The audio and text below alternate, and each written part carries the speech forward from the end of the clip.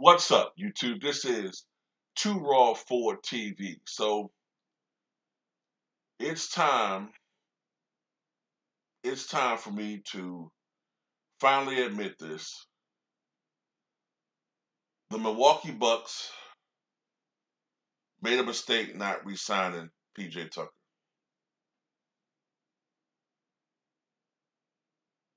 Yep. Yep, they made a mistake not re-signing him, man. I remember last year when free agency came upon us and I saw that he had signed with the Miami Heat. I thought, hmm, okay, well, maybe the Bucks gave him an offer. Maybe he declined it. Uh, maybe he just didn't want to resign with the team. Maybe he wanted to go to Miami. Maybe he took less money. He just didn't like the city. Whatever. Okay.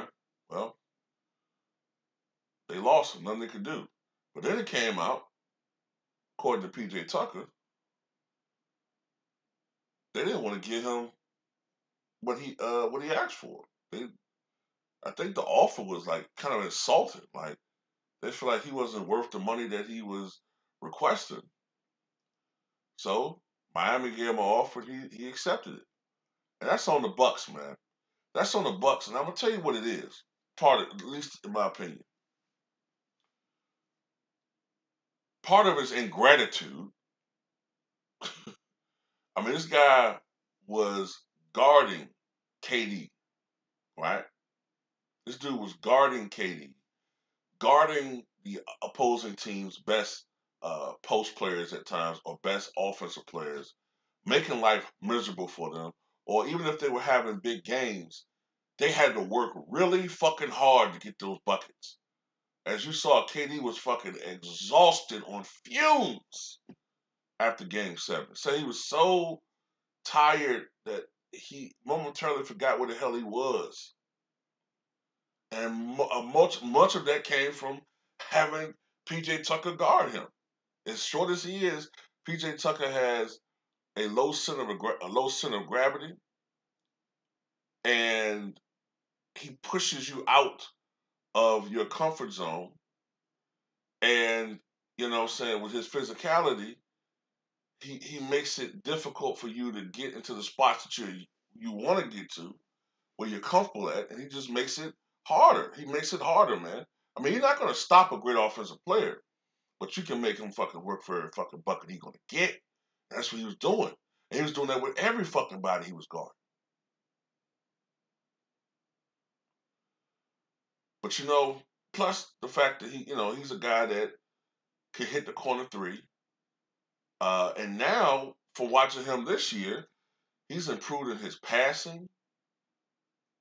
And, you know, a lot of other shit, man. He's, he's he has leadership uh, intangibles and skills that the Bucks sorely miss. You know, and I blame analytics, man. I blame analytics because they so value offensive players. And when I was growing up, I know I'm always growing when I growing up, I was growing. I know that irritates some of you guys, but I'm just sorry, man. When I was old, when I was coming of age, the NBA valued defensive players. You know, every squad had at least one to two supposed lockdown or um, lockdown defenders. Remember, back in the late 90s, early 2000s, NBA players took pride in defense. Everybody said it was a shutdown. Uh, that's the influence that a guy like Gary Payton had. That's the influence that a player like Dikembe Mutombo had. Everybody wanted to be a great defensive player. Michael Jordan had that influence. Everybody wanted to be a great defensive player. Remember, Ruben Patterson called himself the Kobe stopper. Gerald Wilkins called himself the Jordan stopper. Even if it wasn't true, really, everybody wanted to be a lockdown defender. But Voshon Lenard would fit in great in this era. But Voshon Lenard would fit right in in today's NBA. Miami Heat, great defensive player, made Michael Jordan's life very difficult. Now he wouldn't be able to do some of the things he did back then, being physical with Mike and you know and shit like that. But he was still a great one-on-one defender, and he could knock down the three. He was shooting the three at like something like a forty percent clip back then in the in the late nineties. So I can only imagine what he would shoot today, uncontested. Voshon probably be a forty-four percent three-point shooter. But anyway, I'm getting off the subject a little bit. Um,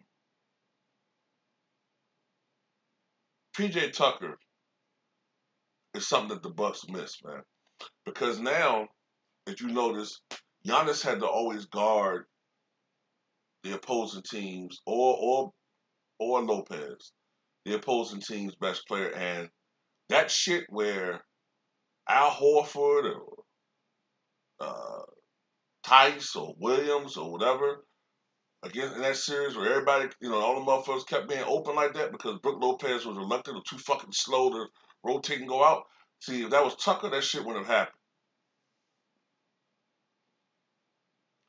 So, yeah, the Bucks made a serious mistake not re-signing PJ Tucker, man. And um, another reason I know why they, they didn't re-sign him was because of his age.